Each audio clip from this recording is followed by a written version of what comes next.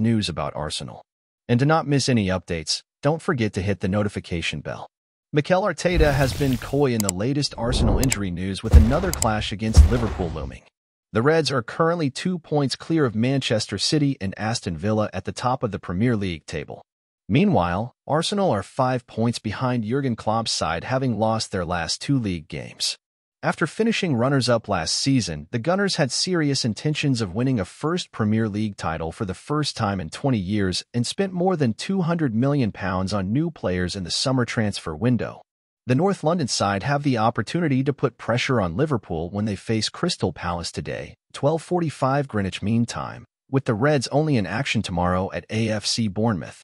The two heavyweights will face each other on February 4th at the Emirates Stadium, in what will be their third meeting this season. The Premier League clash ended in a 1-1 draw at Anfield in December before Klopp's troops claimed a 2-0 FA Cup third-round victory in North London earlier this month. Alexander Zinchenko and Gabriel Jesus missed the defeat to Liverpool, while Thomas Partey, Jurrien Timber, and Fabio Vieira are long-term injured. What's more, Jorginho was not seen at the Gunners' latest training session during a hot-weather training camp in Dubai. However, Arteta did not reveal much when speaking at his pre-Palace press conference. The UAE chief said, We still have some on that list that unfortunately we haven't been able to recover. Individually, I'm not going to say exactly what everyone is like. And now, Arsenal supporter, I want to hear from you. What's your take on this?